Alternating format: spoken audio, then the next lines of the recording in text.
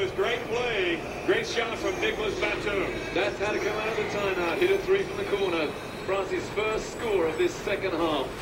And I guess in this situation, you're trailing by 22 points. You just kind of want to chip away, but it's got to come from the defensive end. And they've got the foul trouble as well. They've already lost Mahinmi to five fouls, That's early in the second half. Turkoglu over to Onan. Shakes DeColo off, and Traore with the rebound. DeColo crosses midcourt to Diaw. Looks across to DeColo again. Nando. And ball goes out of bounds and off of France. So even when it seems like the pressure isn't that great, the French turn the ball over. Here's another look at it. It goes right off the hands, I believe, of Pietrus. Yeah, you beat a zone by passing the ball around, finding the holes in it. France did that then, but couldn't hang on to it. And that's 13 turnovers for France. And they can ill afford to do that uh, when that scoreline says what it does right now. Turkoglu. Oh, and he drains it. Gosh, the Turks are really shooting the ball well.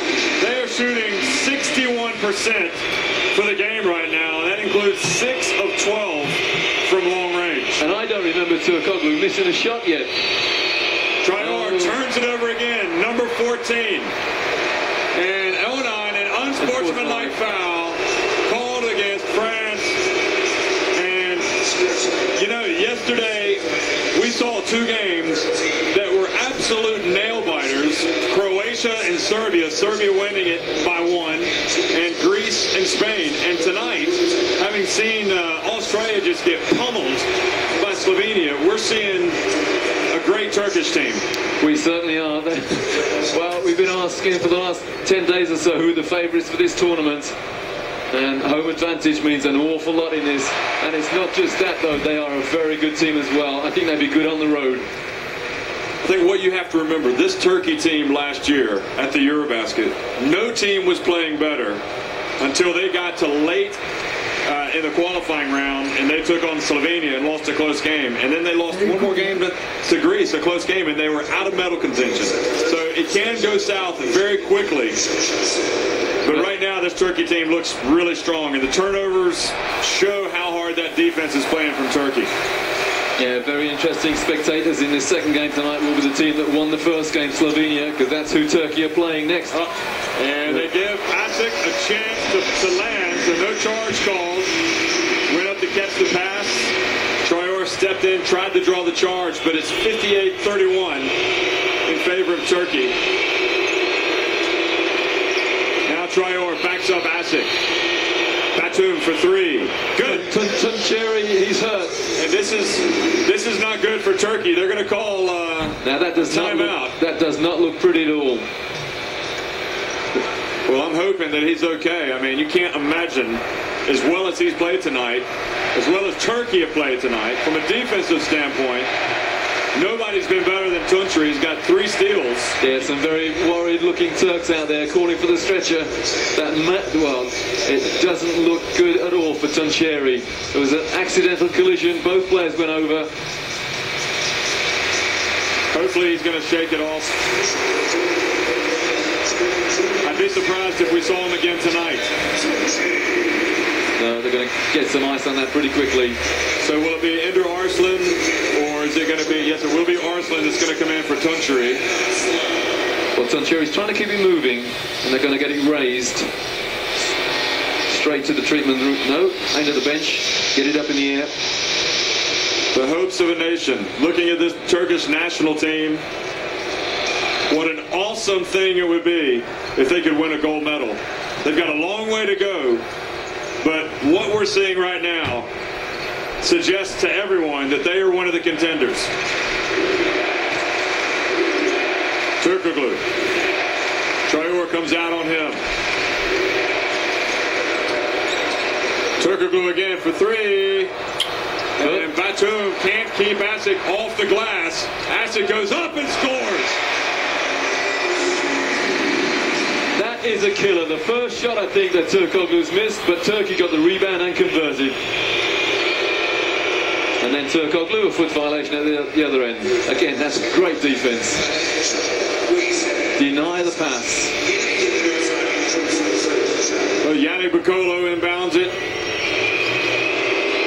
Just past the midpoint here of the third quarter. And Eli Traore goes up and scores for France. They're back to a 24 point deficit. And Collet issuing instructions, defensive instructions, trying to squeeze, trying to make the Turkish Turkish work hard. Sagging. for Bokolo. Albatum extends. Turkoglu looking up at the shot clock. Four on the shot clock. He's going to take it. He's taking a three. No good. Can you say air ball?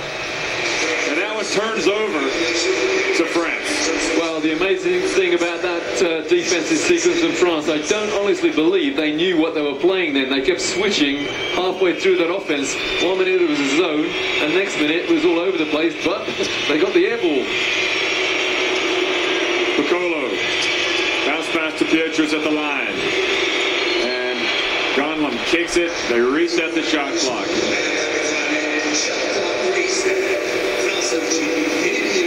Almost a man in shock. Vincent Collet. He's probably still in shock from what happened the other night against New Zealand when France just didn't come to play and they paid the price. Getting beat by 12 points to the Tall Blacks, which threw him into this game against Turkey. Diaw for three. Good.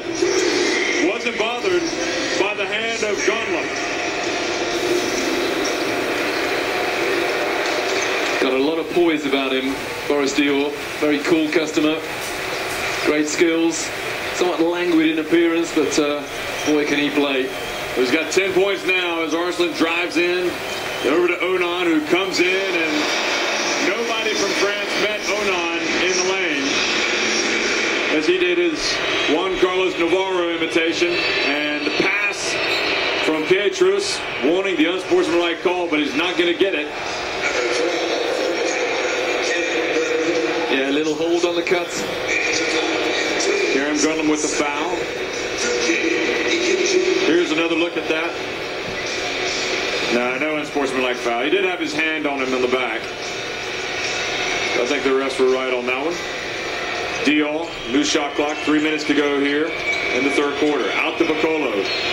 How many kicks? I think this is really, I think they must lead the world in kicks. I mean, and that is a testament to how good that defense is.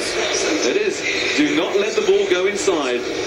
Use whatever part of your anatomy is available. Well, don't use all of it, but like the nose, for example. Pietrus, here it goes over to Bokolo. Oh, tough shot from Yannick Bokolo, but he does draw the foul. Signals two shots at the free throw line, and Asik. And this quarter seems to have flown by 2.46 to go. And it's been more or less all Turkey. Now, not to suggest that France aren't going to come back, but just looking down the road, if Turkey were to face, say, the United States, and the United States didn't bring a lot of big guys over, you can see how they could struggle against the likes of Asik, Gönlüm, Turkoglu, as well as uh, Semih Erden coming off the bench, Oğuz Savaş. I mean, it's this team has has looked very big tonight. I think most teams will struggle against this size, and I can imagine Argentina will, especially if uh, Fabricio Oberto isn't uh, back to full fitness. That said, they're still getting out rebounded tonight. Here's Ender Arslan, and offensive foul called on Ender Arslan. A little elbow in the face, I think. Quite accidental, but uh, no malice, but he was a foul. And Collet calls calls the play. And Ender Arslan, who came in for Tunçeri, is going to sit down with his teammates because we've got a timeout on the floor. As we take one more look here, watch what happens when he comes up. Yeah. Uh, he he tried to brush him off. It wasn't the elbow, but he hit him with his hand. Come on, Ender, you know better than that. Timeout on the floor with 2:40 to go in the third quarter. Turkey lead it, 62-41.